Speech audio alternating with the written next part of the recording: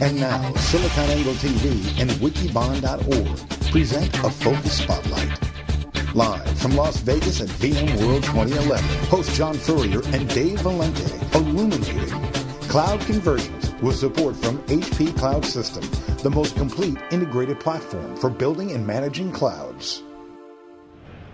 Okay, we're back. I'm John Furrier, the founder of SiliconANGLE.com, and we're here inside the Cube with my co-host. I'm Dave Vellante of Wikibon.org, and we are here with a couple of cloud advisors from HP, Archie Reed, uh, Cube alum. Archie, good to see you again, and Charlie Bess. Charlie, I, I don't Good think you've been on the Cube before, right? It's your No. first time? Right, well, first welcome. time. All right, good to see you guys. Um, we're talking cloud, you know, cloud advisors. Uh, Archie, we talked uh, last year at Oracle Open World and sort of had a good intro to what you guys are doing. But why don't you uh, start by telling us uh, briefly what, what the cloud advisor you know, group does at HP? Cloud advisors are basically HP's sort of best and brightest, uh, the folks that. Uh, if you do say so yourself. If I do say so myself. This is the way they describe us. We're just fallen into the model. And essentially, our goal is to try and help people work out how to work with HP, how to deal with all these things that are going on. And uh, we do a lot of different things. We have a lot of varied backgrounds in the Cloud Advisor program. And it could be from labs, it could be from security, it could be from the business units, but generally with a senior technologist over the cloud for HP. And if you've met one cloud advisor, you've met one cloud advisor. Each of them has an area of specialty, like Archie's with security. I'm more in the services space. So, Oh, okay, great. Two great topics that. So, uh, so the question that, that's come up and is obviously VMware is the center of the show here. It's VMworld and uh, virtualization, uh, network virtualization, SSD storage, big data. Um, all the security questions came up and, and how to get to clouds. We're seeing a trend where there's more demand right now for actual cloud solutions, not so much future tense kind of conversations. So last year was very much lay out the architecture. This year it's like who's delivering, and the products are starting to come in. So the question I asked uh, SR, uh, SHI was the balance around architecture and design and delivery, compliance, and doing the right thing You know, because they're different. Yeah, you're absolutely right. Over the last year, we've shifted the conversation from a little bit about, you know, what is cloud, what can it do for me, uh, to the point of uh, really trying to have people understand what the benefits are for them as opposed to what everybody is telling them what cloud is. So, understanding the architecture, understanding the risks, and we've moved it to a discussion about how do we actually do this, which is things like how do I move data securely to the cloud and what is the process for that? Identifying what's appropriate, what are the systems I need to put in place to do it, and uh, obviously we have a lot of management tools to help people do that. But it's the journey, right? It is the process that we put in play with a lot of customers. Uh, example being, uh, I'm out in Australia right now. We've got a very large company in Australia, one of the top 25, uh, who are spread across the entire country. They're dealing with uh, regulatory issues. So we've uh, basically gone through a data classification exercise. They've gone through an exercise of what do we put into cloud versus what do we move in our data center. So we've gone through various app to cloud, app to virtualization, what's appropriate, what's not. And some of it doesn't belong in the cloud for them. And then we go through the other side, which is how do they communicate to that? putting it all into the cloud doesn't mean it's accessible to everyone in their organization because while here in the States we've definitely got a lot of high speed communications, that's not necessarily the case around the rest of the world. So it isn't just, you know, how do you move to the cloud, but what are the changes to how your employees, your customers are going to access the services that you still have to provide. And those are the real things that we're driving for these customers right now. I'm glad that you brought up the whole issue of the architecture side of it because the architecture is uh, as at least as much a business issue as it is a technology issue, and and the fact that you want to integrate the data and have it so the, the word custom or the data for customer is consistent whether it's in a hybrid environment inside or outside the data center, and then pulling together the user interface in many cases because what you don't want to have happen is say you use a software as a service uh, interface you have your internal interface you might have some other things from other providers and that you uh, accost the users uh, attention span by trying to integrate it in their brain because that just frankly will not work for very long And uh, so thinking through the whole architectural implications of how this is going to generate value for your business for each particular role is key. Yeah, and we've been talking about big data as well, and you know, we get you got Cloudera out there. We, we, we talked to the co-founder, my friend Amr Awadallah, and, and we heard it's easy to set up proof of concepts. The NetApp guys like, hey, you know, I can sure. I can use commodity hardware and set up proof of concept, but that homegrown hits a point. So that, that's kind of one one discussion. And the second discussion is, and we heard from last year of VMworld, uh, HP's customers, Carnegie Mellon and Dallas Cowboys, where they were just banging out some real cloud, which essentially uh, some provisioned resources. So what's changed this year? Um, around around cloud deployment with HP solutions, cloud systems, and the stuff that they have. And two, the role of data because you can't just whip up a cloud. You got to take into account the data component. Yep. Not so much big data, but just data mobility, data security. You want to go? I'll let you do the first one. I'll do the second. So I'll give you an example of what's what's changed. So uh, for some of the customers, they've realized that uh, things like cloud bursting, the things we were talking about last year, the ability to move back and forth and, and basically uh, snap this up, snap it down at any point in time, it's actually a really hard thing to do. It isn't just the fact that you can run up a, a CRM system and suddenly support a particular marketing effort or something like that. There's all the data that goes behind that, there's all the processes that go behind that, and this analysis of what the data is behind the scenes is actually quite critical to whether they can put it into a service provider's cloud, even whether they can put it into their own clouds. And what we've seen with a lot of customers, I'll give an example of a large financial company we are working with, uh, they've realized that they essentially, uh, this is something we've been advising a lot of people, have to become the broker and understand themselves what all the implications of those systems are. They don't necessarily care about the systems underneath anymore. They really want to deliver business value.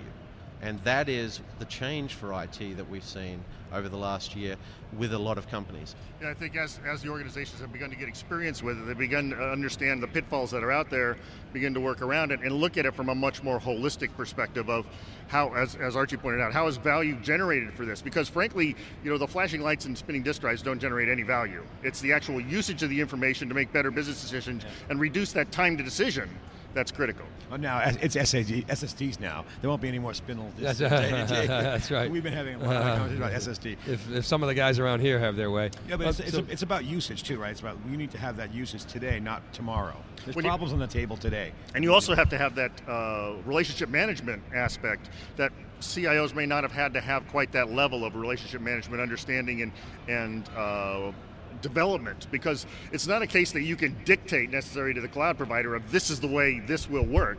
No, you, there it's a self-selection kind of aspect of the cloud providers want to specialize a certain way, optimize their environment for a certain uh, client class, and if you don't fit in there, you probably want to go to another uh, cloud provider, find another person. Sort of like in the old ERP days. If you have to make a whole bunch of modifications to the ERP system, you probably picked the wrong one and because it's not going to be sustainable over the yeah, long so haul. that touches software, that touches you know your policies. I mean, you know, like like what if, if, you have a how, how, what have you seen in the customer base uh, with regard to say things like a security incident, how it's defined, um, what's reported, uh, how much flexibility is there? This, this is a true challenge when you start thinking about public cloud, especially, and no customer that we talk to of any decent size has just said, "Yep, everything's going into the cloud." And when they start to think, okay, what can we put in the cloud?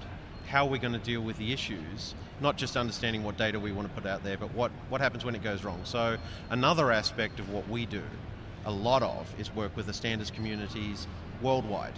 Right? It isn't just US, it's Europe, it's Asia Pac, it's everywhere. And we spend a lot of time with uh, organizations like the Cloud Security Alliance, trying to rationalize what it means uh, in terms of audit security response, incident response, and trying to come up with ways that actually make sense so you can deal with the problems when they occur. And most cloud providers aren't there. So, to Charlie's point, uh, when you want to select a certain cloud provider and you've got the criteria that you want, can you find anyone out there who meets it 100% today? Probably not, but I'll give you an example of something we demonstrated here, which was being able to provision to um, uh, a government cloud uh, we partner with Harris, military grade, and they've basically signed up and said, yep, we're compliant with all of these things. And that can be a policy you can put into our management system and say, if this system must only go into this type of environment, can I flow through? Can I follow that process and deliver what I need to do to the business or the, the organization with that public cloud, or does it have to stay within my control? Charlie, I wanted to ask you um, about services. Um, Okay. It's an area that John and I have been talking about a lot. In fact, SiliconANGLE recently launched a new publication called Services Angle. Um, we, John, John and I joked last year. John Yeah. made storage sexy. Um, I think services is becoming sexy. So the whole thing, the, the theme we've been talking about is the intersection of traditional IT services and transformational services with new web services. Um, when you say you focus on services in the cloud, what are you talking about? What do you see as that intersection, and, and, how is the services angle changing? Well, the services, well, I've got 30 years of experience in the services space, so I've, I've seen a lot of different flavors of how we've approached services, all the way from, uh, you know, the infrastructure as a service or ITO kind of things, all the way up through the business process outsourcing. And, and uh, one of the things that's changing is the sophistication, I would say, and the dynamic nature of the delivery of services. Uh, people do want to spin things up on, on, a, on a moment's notice. And we're not talking about just spinning up disk drives, but whole organizations to meet new product demands or, or new relationship demands and then be able to spin them down at the same rate.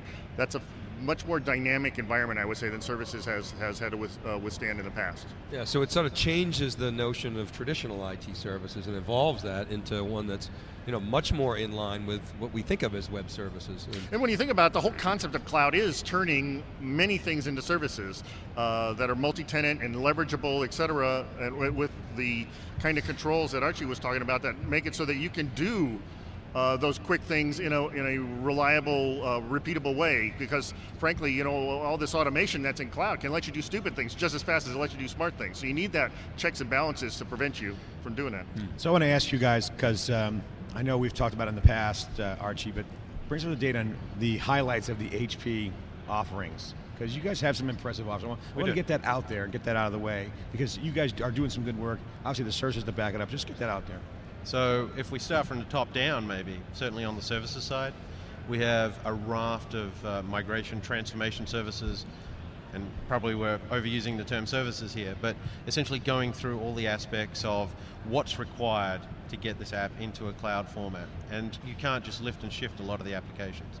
So we have application to cloud, application to virtual, all those sorts of things, and transformation of IT into the cloud.